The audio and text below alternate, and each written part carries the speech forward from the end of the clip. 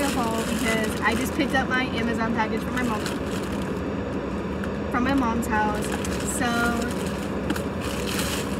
I got a water bottle and I'm so excited because I've never had like I never bought my own water bottle and I'm so excited about it. I love the color and I just got a 32 ounce and I'm actually so excited because I've always had like my parents buy my water bottles and it's never been one that I actually really liked. Like I liked it and I used it for a while but then after it kind of just wears and I'm just not like that into it anymore.